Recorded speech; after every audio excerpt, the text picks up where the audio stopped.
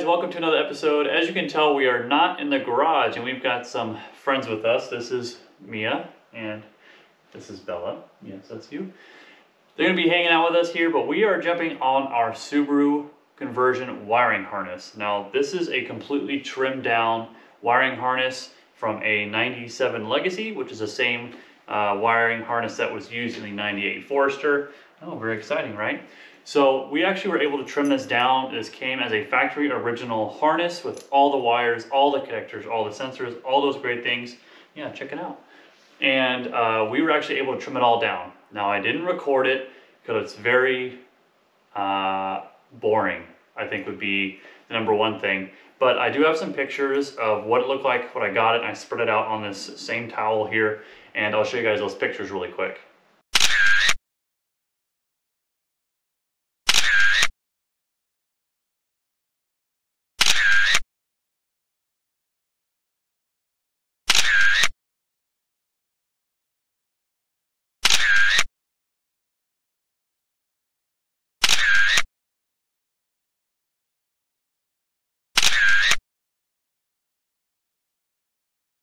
So you can see that the harness was actually complete, pulled straight out of the car. We have our ECU connection, all the main relays, um, the all these different connectors and things that we still kept just in case, our OBD2, uh, engine connectors, MAF sensor, position sensor, all those things. So this is actually all trimmed down. We do have some wires that we need to identify that were left over that go to the ECU but don't have a connector anymore. So I kept uh, all of these connectors and the little protective shields and all that stuff. Yes, I know, I know, I know. Very exciting. A few moments later. All right, so back to business. Uh, FedEx delivered some more parts, so that's great. We always love new parts when they get delivered. We kept all these connectors and the little loom pieces and all that stuff. We all kept that just in case. We also have, ooh, check it on out. What do you see? All the wire that we cut off. This is about, I want to say seven-ish pounds of wire. I mean, it's just huge amounts of wire, uh, different gauges and thickness and styles and color patterns and tracers and all sorts of wonderful things. So we kept all that. Those watercolors will be good for in the future other projects um, to have different wires for different things. So we're gonna hold on to that as well. And we're gonna let the dogs inspect it because they are super nosy and wanna see what's going on. But I'm gonna bring you guys in and I'm gonna show you guys what connectors we kept. And I mean, you saw the bag full of connectors that we didn't keep. Uh, we're just gonna go through all the ones we kept and then we're going to start labeling these. We do have the printout of the ECU pinout. So we've got our list of all the pins, where they go, and a picture to accommodate it. And we're gonna go through these and see which ones we need to keep or which ones we can clip a little bit shorter to save on some space. Um, I know some of these um, we don't need for our application, but we're gonna go one by one just in case. And I just loosely wired all these. So anyway, let me bring you guys in. We're gonna go through all these connectors one by one um, and show you what I kept and a whole lot that I didn't keep. So we've got it all spread out still. First thing obviously we kept was our ECU connector. This connects to our computer um, with all the pins. We kept all the ones that went back to the ECU but didn't have an actual connector on the other side. It was cut off. We kept that just in case. We of course kept our OBD2 uh, connector.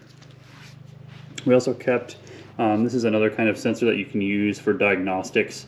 Um, I just kept this on here as well. You can't go wrong with more di diagnostic options.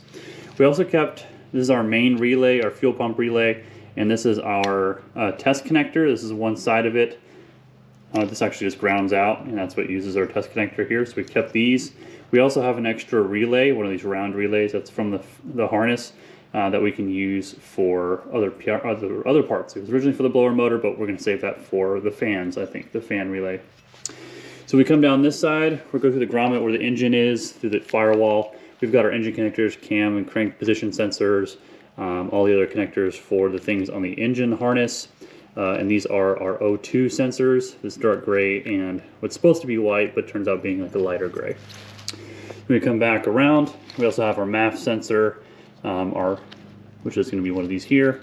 We also have our igniter, which we kept. We've also got, these are like atmospheric pressure sensors. Those go towards the engine as well. And we have a couple loose wires we're gonna trace back, and this is for our starter. So it's really not a whole lot left on this, um, but it's nice to trim it all down. It was a massive jumbled mess that you see in there. So we're able to cut off a lot of the useless stuff. But what we're gonna do now is go through the pins here that are left over. We're gonna go one by one, see where they end up on here, and then we will label them on their ends, cut short the ones we don't need, and hold on to the other ones that we do. Maybe they need to be grounded out um, to, for a signal or something like that. So it's much skinnier than we started with. It was a monster mess. It took me about three hours to trim it all down to all of what you see here. Um, much more manageable here. Cut off a lot of weight, which is nice. Weight is the enemy when we're working on a big old bus like we have now.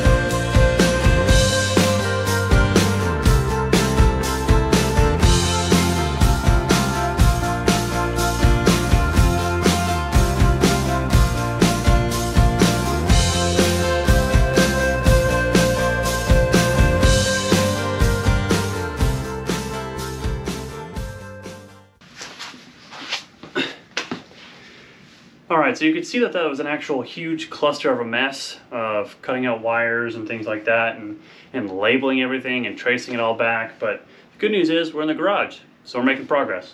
So I've got everything roughly hooked up. I'm gonna bring you guys in a little closer and show you where it's set up and then cross your fingers that this uh, hours and hours and hours of work is gonna be worth it. So let's take a look. So we've got everything laid out. It looks like a jumbled mess, but we're gonna go through it really quick. We've got our ECU harness here hooked into our engine harness here at the back part of the engine. Comes down, we've got our igniter attached here. a couple loose sensors we don't have plugged in yet. Our vehicle speed sensor here. We've also got um, all of our relays here and everything. This is gonna be our ignition switch, our dummy, like as if the power is on to the ignition. We've also tied together our two power source wires here um, for the ECU to get power. And what we're going to be using is my M12 battery pack, which is normally for my drill or my little mini impact. But it's 12 volts, which is great because it's super handy and rechargeable. We don't have to lug around a huge battery to test this. But what we've got is a test light, which is going to simulate a load. So we've got our two wires here, one for our fuel pump and one for our electrical cooling fan, which will go underneath the bus um, to cool that. And of course, our vehicle speed sensor will be able to test on some sort, uh, sort of surface. Um, if it works, we should see some light on the back of that um, as a signal that it's picking up. So what we're going to be doing is running power from this. We've already got it grounded to the grounding point on the manifold. Going to add power to the system. So now in theory, the computer should have power. Now what we're going to do is, where did I set it? Our ignition switch right here.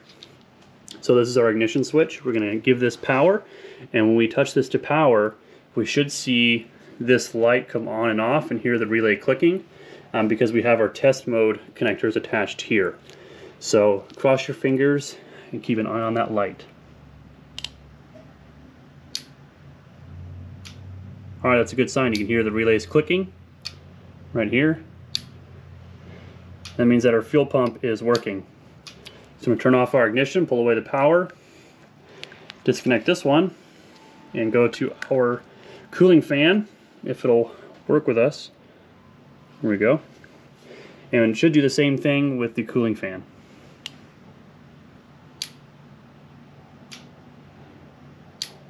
I can hear it. Oh, there it goes. So the fan relay is a little different, but it does show that it does come on. Awesome. So the next thing we need to do is test our vehicle speed sensor. Now I can't really do that with my hands all tied up, but if I can wedge this ignition switch wire in. Okay, so if I pull this, all right, good. So when it gets, ever gets close to a metal surface, that's a signal of our speed. So this will actually go attached to our, pull that off. This is actually going to go attached to our transmission, and as the bolts that hold on our CV axle go by, this will tell the computer how fast we're going. But this is a great, great sign. Everything is working just the way it should, um, which is a huge relief because we spent hours working on this, and it's so glad to see it all come together and all work. So what we're going to do is we're going to disconnect power here, and what I would like to do is hook up a proper electrical, maybe grab our jumper pack and a couple wires ready to go, and see if we can get spark out of this thing. I've got a spark plug tester in line already to see if we get some spark on that. Because that'd be a really good, huge step forward to seeing if this whole thing is going to come together that much easier. Okay, so we've got our new setup put together. We scrapped away all of our dummy fuel pump, dummy fan, all that stuff to the side. We've got our jumper pack acting as our battery. Hooked up to the positive post. We have a jumper wire to excite our starter. We've got the starter switch plugged in here. That's what this yellow and red is. We've also got power coming from the stud to our system here to power our computer. We also have our ignition switch plugged in um, to the this little jumble here. That's what you can see on top. That way the computer comes on when we apply power here. So in theory, with this hooked up, everything connected the way it is, the igniter is plugged in, plug wires are in, our ignition tester light is in. So if we spin this over, we should be seeing light right there. So let me get you guys in the stand, we'll get all this hooked together, and we can fire it up and see if we're getting spark. So what you guys are going to want to be looking for is this right here. This is our tester. You should see this flash um, if we have spark with everything set up as we have it. This definitely requires two hands. So we've got power to the system. I heard some relays go. So look for this.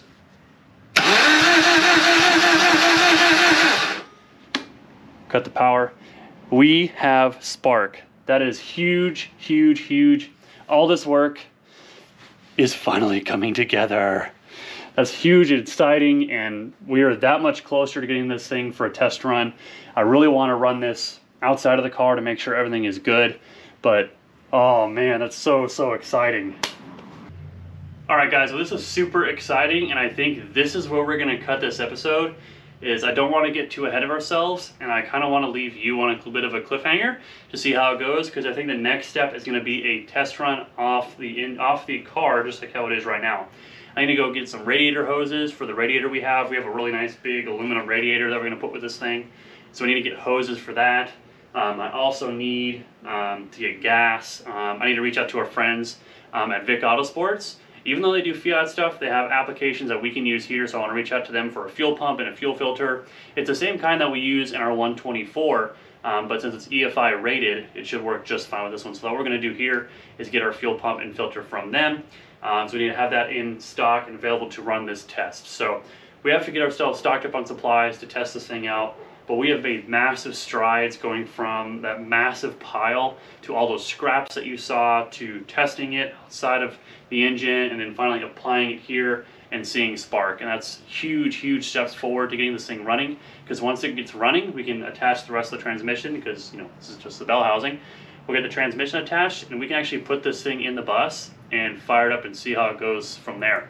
Um, that's a lot closer than it sounds and a lot closer than you think. So little by little, let's get there one step at a time. I really do appreciate you guys watching. This is huge strides in our project, and I'm really glad you guys are following along. Thank you so much for watching. I really do appreciate it. So make sure you like, comment, and subscribe. It really helps the channel out, really helps us grow so we can continue to build things like this and work on cars like these.